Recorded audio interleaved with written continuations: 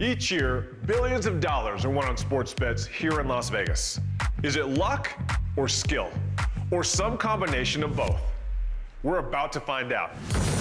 We are taking the Big Brother reality competition style show and upping the ante with an exciting sports betting twist. Contestants range from professional sports bettors who study and strategize to self proclaimed degenerate gamblers who live for the thrill of having skin in the game.